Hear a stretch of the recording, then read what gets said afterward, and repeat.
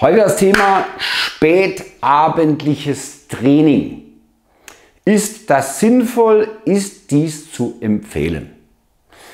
Ja, erstens mal kann man in der Tat nicht eine grundsätzlich pauschale Aussage dazu treffen. Nur so viel schon mal. Das Thema Biorhythmus des Körpers, das kann man berücksichtigen und da passiert Folgendes. Also, wenn wir das jetzt mal hier eine ähm, Uhr aufzeichnen, na, gehst auf. So, hier die Uhr. Hier ist 12 Uhr. Hier unten haben wir 6 Uhr. Hier haben wir die 9 Uhr oder 21 Uhr. Und hier haben wir die 3 Uhr. Okay? So, und dann ist es so, natürlich hier, die meisten Menschen stehen morgens zwischen 6 und 7 Uhr auf und die meisten Menschen gehen abends zwischen 10 und zwischen 12 Uhr hier ins Bett. Hat natürlich einen Sinn. Ups, wenn man morgens aufsteht, wird es hell draußen, die Sonne geht auf, die Sonne steigt, steigt, steigt, steigt, steigt. Und so wie die Sonne ansteigt, haben wir auch so ein Verhältnis zu unserem Biorhythmus. Das heißt, wir werden dann irgendwann natürlich auch mal richtig schön wach. Die einen früher, die anderen später, kommt darauf an, wenn man ins Bett gegangen ist. Und so hat man natürlich einen Tagesverlauf, was den Biorhythmus anbetrifft. Ich mache hier noch die 21 Uhr drin, drunter hier die 24 Uhr und hier die 15 Uhr, das besser verständlich ist und hier die 18 Uhr. Okay? So, und jetzt gibt es natürlich ganz oft die Frage, wann ist die beste Zeit zum Trainieren? Da gibt es einiges an Studien drüber. Das wäre nachmittags zwischen 16, 17, 18, 19 bis maximal 20 Uhr fast schon ein bisschen spät. Und da ist optimale Trainingszeit für viele auch morgens mal trainieren zu gehen, wenn es jetzt nicht gerade Maximalkraft ist und Hypertrophie, außer man steht zwei Stunden vorher auf, dass man ein Frühstück hat, dann kann man auch morgens Hypertrophie trainieren, äh, aber eher ungünstig. Wir haben es aber heute bei uns geht es heute darum, hier zum Thema spät abends trainieren. Also, wenn wir irgendwann abends, so irgendwann bei 20 Uhr hier sind, dann fängt der Körper an, biorhythmisch, vielleicht sogar schon ein bisschen früher, langsam aber sicher sich auf Schlafen einzustellen. Das bedeutet, dass der Körper, der Organismus, der stellt sich auf Schlafen ein. Das heißt, die Körpertemperatur geht in der Regel etwas runter, der Stoffwechsel wird etwas langsamer, der Körper bereitet sich auf die Nachtruhe vor. So, und jetzt gibt es Leute, die sagen, ja, aber ich möchte unbedingt abends um 22 oder sogar noch um 21 oder manche sogar um 22.30 Uhr ähm, ins Studio gehen oder Sport machen. Kann man machen, geht, aber die meisten haben dann ein großes Problem, dass sie noch in den Schlafmodus kommen.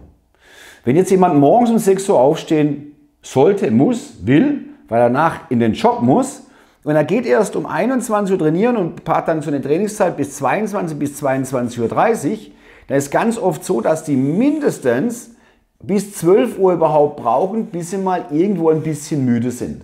Dann legen die sich ins Bett und dann brauchen die nochmal 30 Minuten, 45 Minuten um einzuschlafen, schlafen dann auch ein, schlafen aber dann nicht tief genug. Warum? Weil ganz oft bedingt durch den Aktionismus hier, durch das intensive Training, ja, einmal der Adrenalinspiegel nach oben ist, Noradrenalinspiegel nach oben ist, der Körper ist aufgeweckt, die Sauerstoffzirkulation ist hoch, das Gehirn ist sehr stark durchblutet und somit haben die dann eben einmal ja, von halb eins circa einen Schlaf müssen dann um sechs raus und haben dann letztendlich nur fünf, fünfeinhalb Stunden, haben dann auch noch einen schle schlechten Schlafmodus, dass sie gar nicht so richtig in die Tiefschlafphase kommen und wachen dann morgens auf und sind gerädert. Deswegen ist es nicht sinnvoll, zu spät ins Training zu gehen. Warum? Natürlich hat sich die Natur was dabei gedacht, wenn sie sagt, ja, ja, wir lassen jetzt mal die Sonne untergehen und wenn die Sonne untergeht, dann wissen unsere Gene, ah, ja, ja, ist ja dunkel, so langsam sollten wir uns mal auf Schlafen vorbereiten. Und wir Menschen sind eigentlich so intelligent und sagen, nee, nee, nee, Moment mal, jetzt machen wir mal das Licht an. Jetzt fangen wir an, hier Action zu machen. Ja, und dann wundern wir uns letztendlich, dass wir nicht gut in den Schlaf kommen, dass wir morgens gerädert sind. Das sollten wir uns nicht wundern, denn der Biorhythmus gibt uns natürlich vor, wann wir aufstehen sollten und wann wir schlafen sollten. Natürlich kann man das eine Stunde, zwei, drei hin und her schieben, denn ja, im, Sommer um 4.15 Uhr aufzustehen, wenn die Sonne aufweicht und dann äh, abends erst um äh, 22 Uhr nochmals ins Bett zu gehen, weil da die Sonne erst untergeht, kann man machen, muss man nicht machen. Oder im Winter schon um 19 Uhr ins Bett liegen, weil es dunkel wird und morgens erst aufstehen um 7.30 Uhr, weil es hell wird. Kann man schon anpassen, sollte man auch anpassen. Machen wir ja auch.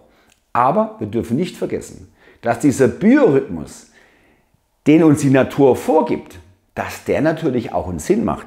Dass da natürlich auch hinten was steckt. Warum?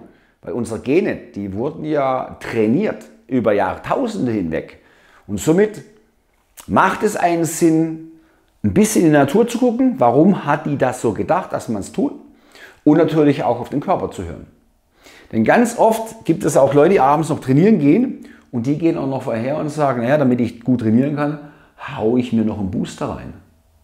Da gebe ich mir noch ordentlichen Booster, dass ich richtig wach werde, dass ich richtig Gas geben kann, denn mein Training ist ja super wertvoll. Es ist nicht im Sinne der Natur. Deswegen ganz klar, also vom, was den Biorhythmus anbetrifft, ist es nicht gut, zu spät trainieren zu gehen und darunter den Schlaf leiden zu lassen, beziehungsweise auch die Schlafqualität. Es gibt da draußen bestimmt ein paar, die sagen, das ist völliger Blödsinn, ich kann schlafen.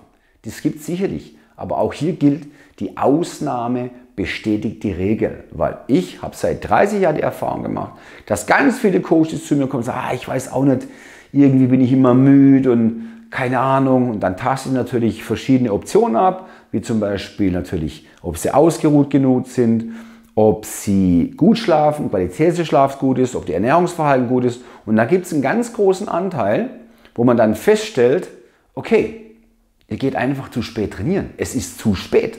Und dann müsst ihr auch noch früh aufstehen. Und dadurch entsteht eine chronische Müdigkeit, chronisch ausgelaugt, chronisch schlapp. Und wenn man dann da keine Rücksicht drauf nimmt und weiter so das Ganze betreibt, kann das dazu führen, dass die Leute gar keinen Bock mehr haben zu trainieren. Bei vielen ist es auch so, durch den schlechten Schlaf leidet dann auch noch der Stoffwechsel. Durch den schlechten Schlaf ist auch noch ja, der Muskelaufbau gestört, weil auch hier was Hormone anbetrifft, Hormonsekretion anbetrifft, ist natürlich der, das spätabendliche, zu späte Drehen nicht förderlich, auch nicht für den Muskelaufbau. Und der schlechte Schlaf, natürlich auch nicht förderlich für die Fettreduktion. Denn das ist Stress für den Körper. Und diesen Stress muss man ihm nicht aussetzen. Warum? Weil man diesen Stress selber in der Hand hat und darauf reagieren kann. Klar, es gibt Menschen, die zum Beispiel Schicht arbeiten. Ja, tut mir leid, bei Schichtarbeiter ist es schwierig, denn die unterliegen natürlich einem ganz anderen Gesetz. Das ist leider so, ähm, dass Schichtarbeiter da die Arschkarte haben. Aber alle anderen, die relativ normale Arbeitszeiten haben, können dies beeinflussen. Mein Tipp ist immer, also wenn man trainieren geht, gute Zeit ist direkt nach der Arbeit. Die Sporttasche mitnehmen, ins Auto stellen und directly auf dem Nachhauseweg im Studio vorbei ab ins Studio und ein Workout gemacht. Gegenargument, richtig, da ist scheiße viel los im Studio, weil nämlich viele um diese Uhrzeit kommen. Wer die Möglichkeit hat, der fängt morgens schon um halb sieben an und kriegt dann vielleicht schon um 15 Uhr Feierabend. Wenn er um 15 Uhr Feierabend kriegt oder 15.30 Uhr, dann ist er relativ früh vor der Hauptstoßzeit im Fitnessstudio. Also die meisten Fitnessstudios sind ab 17.30 Uhr bis 20, 21, 20, 20, 30, 21 Uhr gnadenlos voll. Und da macht es in der Tat echt keinen Spaß zu trainieren. Es gibt verschiedene Möglichkeiten oder das frühmorgendliche Training, wenn man kann. Im Muskelaufbau etwas schwierig, auch hormontechnisch etwas schwierig, weil wenn man morgens ordentlich Bums haben will, dass man sagt, ich habe ordentlich Power, ja, da braucht man Energy. Viele brauchen Energy, viele können auf nüchternen Magen kein hartes Training in Form von Muskelaufbautraining durchführen. Und wenn man verfrühstückt und zu knapp an die Trainingszeit frühstückt, kann das natürlich eben auch belastend sein, weil durch das Futtern, durch das Frühstück morgens ist der Magen-Darm-Trakt belastet, der Verdauungsprozess läuft.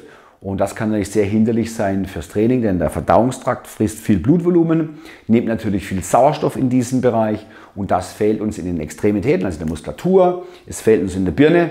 Und das ist natürlich dann für eine ordentliche Trainingsleistung definitiv nicht förderlich.